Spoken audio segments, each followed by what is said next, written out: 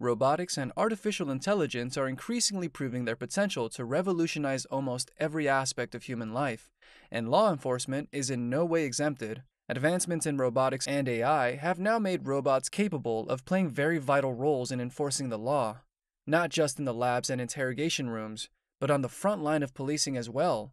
For the first time in human history, a machine learning program that uses artificial intelligence is now able to accurately forecast crimes at least one week before they happen. Just as they've been driving change in healthcare and manufacturing, artificially intelligent robots are now being explored towards driving similar changes in policing. In this video, we've taken a deep dive into the present state of affairs with robots and AI in policing, and whether autonomous AI enabled police robots are potentially the great idea that they've widely touted to be. The first ever robotic police officers were deployed across cities in China and Dubai in 2017. The first generation Robocops were essentially a mobile information touchscreens that passed general information to citizens and were largely present at airports and train stations. The Chinese versions, called AnBot, were pretty much a cross between R2D2 and Dalek, having facial recognition technologies that could track potential criminals and forward their information to a central command unit manned by human operators. Unlike the Chinese versions, Dubai's first generation robots were largely restricted to menial tasks but were more humanoid looking. Still actively working towards incorporating more technology and AI into its policing system, Dubai's police launched more mobile robots in 2020 and have announced plans to have human free police stations that'll be completely manned by robots by 2030. Since the first public use of robots in law enforcement, more policing robots have been launched, and robots are now widely a crime fighting tool for the police and other law enforcement agencies. In 2019, for instance, police in Novato, California deployed a robot to avert a nearly explosive standoff. After a man doused the floor of a gas station with gasoline and unsuccessfully attempted to torch the place. When the police arrived at the scene, the assailant demanded a cigarette, but the police sent him an electric vape pen instead, sending a robot to deliver the item. This robot also had a cell phone on it for negotiation purposes. Across many US cities like Chicago and Los Angeles, robots are now increasingly being used in handing out speeding tickets, patrolling streets, taking down armed suspects, as well as defusing bombs. Robots have essentially become an effective crime fighting tool for the police, contributing greatly to save both labor and lives in the process. These robots are also increasingly using AI, machine learning, and IoT in performing their tasks, and largely eliminate bias in policing. The greatest advancements in robot policing at the moment is how using artificial intelligence, robots can now accurately forecast crimes long before they happen. A popular algorithm for this was recently developed by a team of University of Chicago researchers who utilized data on past crimes to forecast future occurrences in a 1,000 square foot zone. So far in the US, Eight cities, including Chicago, Los Angeles, and Philadelphia, have adopted this technology. Similar AI technologies are now being used in Japan, especially in some municipalities where crimes are statistically more likely to occur.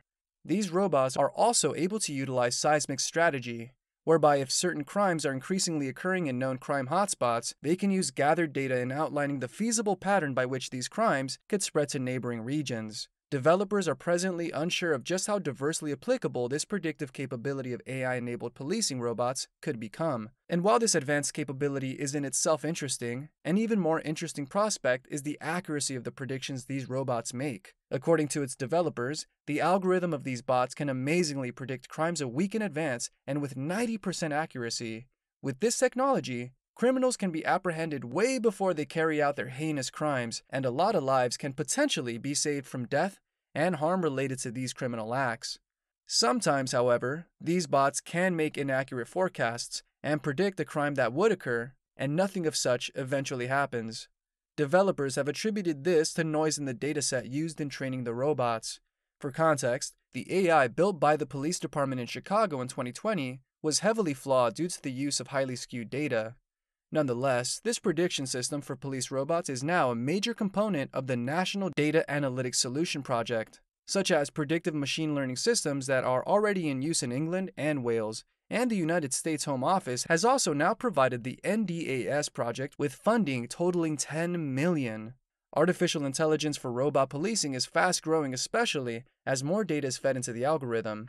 To a popular AI developer at the University of Chicago, AI is still only a toddler, but recent advancements have proven that our dependence on the technology would only continue to grow as time progresses. Developers are also already developing algorithms that would make it possible for police officers and soldiers to operate weapons with just their minds. The launch of these mind operated robots would usher us into a new world of Skynet Terminators, but the world might already be seeing this happening in faraway China, where the Chinese army has deployed robot soldiers along the country's border with India. With very high altitudes and temperatures capable of reaching sub zero levels, it wasn't long before the Chinese army realized that it'd be perilous to still have human soldiers manning the China Indian border. These robots would be attached with machine guns that would be fired at invaders by human operators behind a computer screen. It'll appear that we've truly now entered into a Skynet version of conflict. China's ultimate goal is to have these weapons fired by artificial intelligence, and speculations are already rife that many of the robots deployed on the China Indian border have now been upgraded and are already under AI control. Since these robots were deployed at the border, the frequent China India conflicts and escalations that have been the norm in the region for decades have completely disappeared. But while these bots are exciting and a great testament to the advancements in robot policing, Fears have also begun to arise of these robots being deployed for sinister purposes other than the primary purpose for which they were developed. These robots also have cameras with which they monitor activities on the border and send back graphic images and videos in real time to the command center. Unlike human soldiers who had to physically search adversaries or any person passing through the border physically to determine if they had firearms or any other kind of contraband on them, all these robots do is conduct a scan, and they can do this when the adversary is still a considerable distance away. These robots have the shape of a vehicle, and their earliest versions were named the Sharp Claw 88, and they were first deployed in Tibet. Another model of this robot is the Mule 200. Both models are frequently used as transport vehicles for valuable supplies like ammunition. So far, 120 of these robots have been deployed in Tibet. With the Mule being the bigger of the models, developers have identified that it can serve a broader range of transport functions like taking injured troops back to the base, as well as delivering new robots to the borders if need be. Now that the robots are now fully operational on the borderline, Beijing is now moving swiftly with its plans of giving these robots a mind of its own. And efforts to give these bots these unique capabilities are fast advancing as Chinese developers have claimed. With the increasing use of AI and robots in the conduct of military operations across many of the world's highly advanced nations, debates are now beginning to arise about the need for standardized rules of engagement for the deployment of military and weaponized robots in public places. Some AI and robotics experts, their opinion is that whoever programs the AI should be responsible for its rules of engagement. Some others have identified this proposition to be very tricky and rife with the potential to have these robots deployed for very fatal and selfish gains. Their argument, in essence, is that developers should work closely and in collaboration with relevant authorities in determining the rules of engagement for these robots. While the subject of regulation is fast becoming a hot debate at the moment, China appears to have been ahead of the rest of the world in this regard. The Chinese began efforts at determining the appropriate rules of engagement for military bots as far back as 2017, when China unveiled a new artificial intelligence development plan that advocated the use of AI in the military.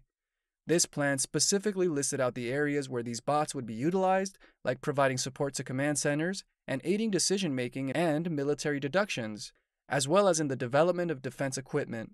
The application of robotics and AI has also not been limited to the police or ground soldiers alone. In the US today, a wide variety of AI enabled military drones have been developed by the Air Force. Autonomous fighter jets also now exist with AI enabled jets already in development. The US Navy is also working on more advanced autonomous submarines. Many AI researchers and developers believe that with the great progress already made in machine learning and AI, it wouldn't be much longer until robots can work completely independently in enforcing law and order in our societies and without any form of human control.